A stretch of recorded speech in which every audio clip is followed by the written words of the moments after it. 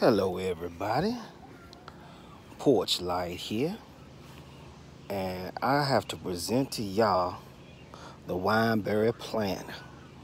Now I got this from Maryland in the backwoods where I was at about almost three years ago. It was about a stick like that and it had, I don't know, I don't can't remember if it had berries or not, but I put it in the ground. Well, no, actually I put it in a pot it grew and it turned out to be about this with leaves on it. Then I brought it here, put it in the ground. A couple other twigs and came out. Then, a couple years later, now it's that big and it's got berries finally. And I tell you, this thing is loaded. Now, they haven't popped open yet. And at first I thought they were the berries. Look at that. Look at all that. But they're not they're still incubating or doing what they do. But whenever these guys pop up, it's going to be awesome. Cherries. So, oh, excuse me. Yeah, so that's great though. But this isn't why we out here. Look at all these elderberries, y'all. I mean, it, it's, it's, I mean, this, this, this right here. Look, look at that. Look at that. Look at that. Look at that. But and what is this?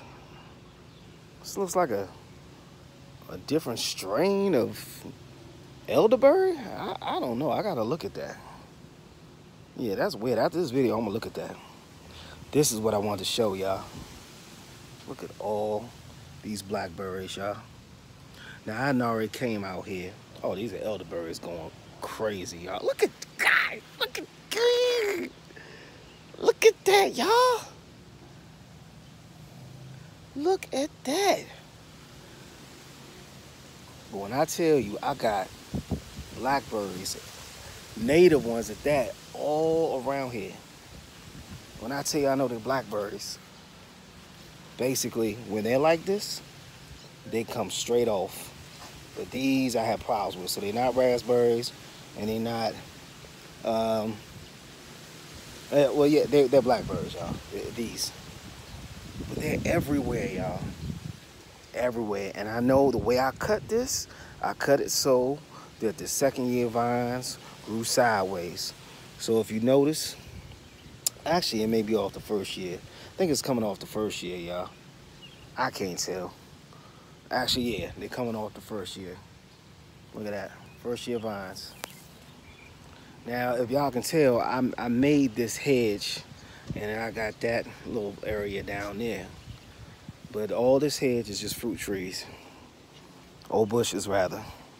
I even got a goji berry under there.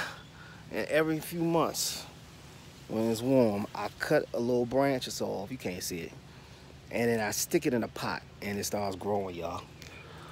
But yeah, I think they're gonna come. They, well, no, I think I gotta let these these uh shoots up here grow, y'all.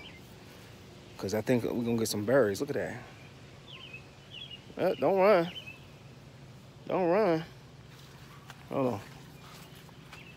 Don't run. Well, at any rate, y'all. Hopefully he ain't up on blackberries. Grow your native native fruits, y'all. Cause they're the ones that's gonna do best for you.